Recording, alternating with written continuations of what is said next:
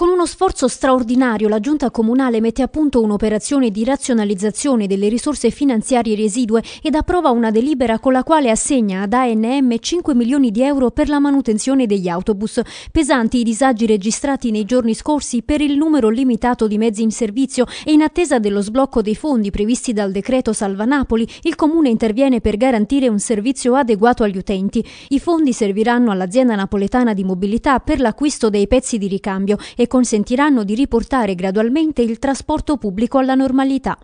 Negli interventi di razionalizzazione delle risorse da parte del Comune rientra anche la delibera con la quale si assegna ad Asia un contributo pari ad un milione di euro per l'acquisto di otto spazzatrici, moderni automezzi da 4 metri cubi che consentiranno una pulizia più accurata dei tratti di strada interessati. Sono dotate infatti di una lancia idropulitrice per spazzare anche i marciapiedi e fin sotto le autovetture.